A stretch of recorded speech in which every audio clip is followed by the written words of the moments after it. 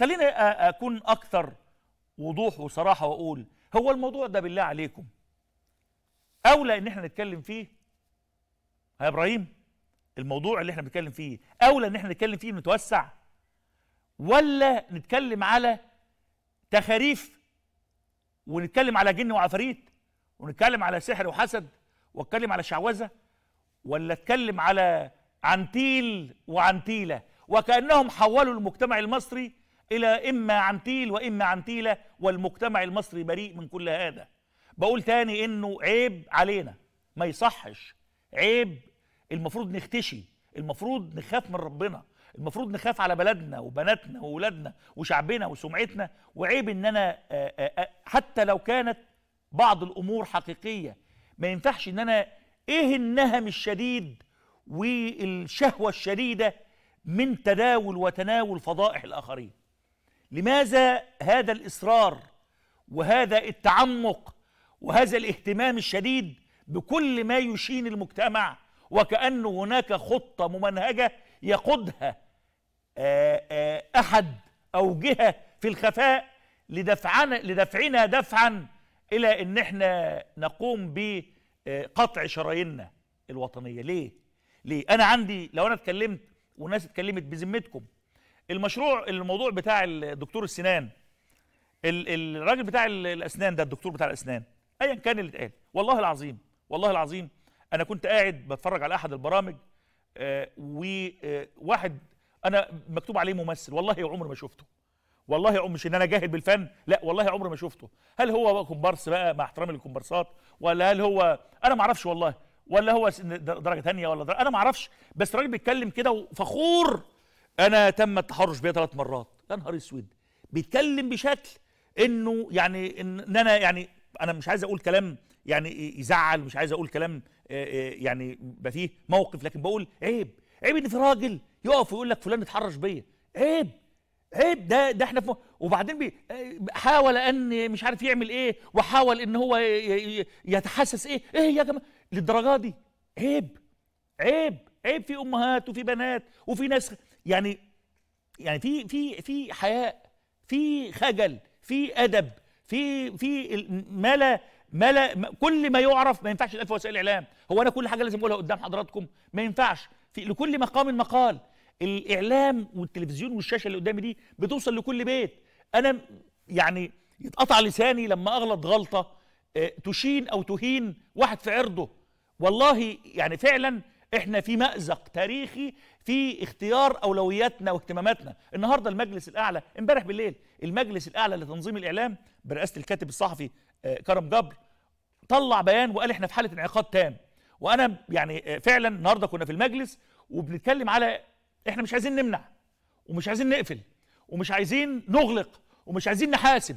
إحنا عايزين نضبط الإيقاع عايزين فقط نضبط إيقاع العمل. يا جماعة اختاروا اختاروا ما يليق بالمجتمع اختاروا ما يليق بالمرحلة اختاروا ما يليق بالإصلاح اختاروا ما يليق باسم مصر اختاروا ما يليق بسمعة مصر. مش عايز أقول لك اشتغل بس في هذا الجانب عندي سلبيات اتكلم في السلبيات زي ما أنت عايز. عندي في مشاكل مجتمعية خليك حريص. قبل ما تتكلم على واحدة ست تخيلها مراتك تخيلها أمك تخيلها أختك تخيلها بنتك. واكتب يا سيدي وقول يا سيدي وغني يا سيدي. قبل ما تتكلم على واحد تخيل نفسك مكانه. قبل النيابة ما تصدر قرار مش من حقك تقول مش من حق الإعلام يتحول إلى وسيلة محاكمة مش من حق الإعلام يتحول إلى ساحات قضاء مش من حق الإعلامي أو الكاتب أو المدون إن هو ينصب نفسه قاضي. لا يجوز لا يصح.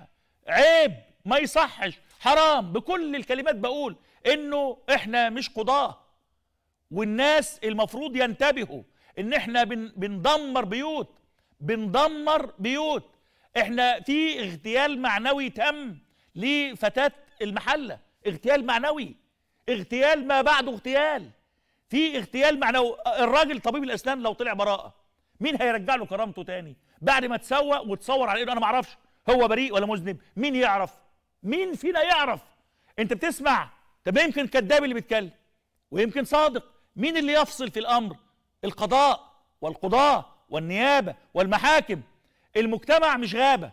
المجتمع منظم والمجتمع فيه مؤسسات والمؤسسات بتدير وبتحر وبتتحرى وفي الآخر إحنا في الإعلام بنضيء بننير بنوجه بنقول بننقل أخبار للناس. ما حدش يقول لي مساحة الحرية. حرية إيه اللي فيها اغتيال؟ حرية إيه اللي فيها؟ البي بي سي في في إحدى ال الأحداث الشهيرة. كانوا عاملين تقرير بيتكلموا عن التحرش بالأطفال. وجابوا آه، ناس بتتكلم وأشار أحد هؤلاء إنه لما كان طفل من عشرين سنة تحرش به أحد أعضاء مجلس العموم. كلام عام. واحد على الفيسبوك كتب آه ده يقصده فلان الفلاني. خد بالك وسيلة الإعلام اللي هي البي بي سي ما قالوش اسم ال ال النائب. خالص. ده واحد بيقول إنه تحرش بيتكلم من 20 سنة فاتت. حد على الفيسبوك قال آه ده يقصده فلان الفلاني. اذا تم إيذاء نفسي واغتيال معنوي لأحد الأشخاص سواء بالصح ولا بالغلط. البي بي سي اعتذرت والراجل مدير البي بي سي استقال بعد 10 دقائق لأنه حرية الناس. أنت مش قاعد ماسك آه، ميكروفون ومش قاعد ماسك قلم عشان نذبح الناس. بقول دور الإعلام أرقى من ذلك بكثير أفضل من ذلك بكثير أهم من ذلك بكثير. بتكلم إحنا بنتكلم على دكتور بيتحرش أو بيقول عليه بيتحرش ولا ست مش عارف إيه ولا مين عمل إيه وسايبين الهم وسايبين الغم وسايبين التحديات وسايبين كلاب السكك بره بينهشوا فينا سايبين كل من هب ودب من المرتزقة في عقول الانسان عمالين يشنعوا علينا شايفين خطط وشايفين إخوان بيتحركوا وشايفين تحديات وعندي صد نهضة وعندي أزمة اقتصادية وعندي كورونا وعندي إرهاب وعندي وعندي وأنا بتكلم على دكتور قال بيتحرش مين؟ عيب. ما لكم كيف تحكمون؟ أنا آسف والله بتكلم على مشروع قومي اسمه مشتقات البلازما. قدني إلى إنه مهم نتكلم فيه. قدني الكلام إنه أهم جدا من قضايا التحرش وقضايا العنتلة الجديدة اللي إحنا شغالين فيها. إيه إيه إيه فقه العنتلة الجديد ده اللي بيتكلموا فيه؟ كل شوية واحد يقول لك ده عنتيل كذا ده إلحق في البطرشين ده إلحق في البحيرة ده إلحق في الغربية. إيه يا جماعة؟ إيه يا جماعة التقطيع الفظ في هذا المجتمع؟ المجتمع ما يستحقش مننا هذا. وأنا بقول تاني المجلس الأعلى لتنظيم الإعلام سيكون حاسما حاسما بقرارات حاسمة ومؤلمة لكل من يحاول إن هو يمس أمن المجتمع. قولا واحدا إحنا عندنا في أصول هو إحنا الخط الفاصل بين الحرية وبين المسؤولية واضح جدا. يا جماعة في أكواد.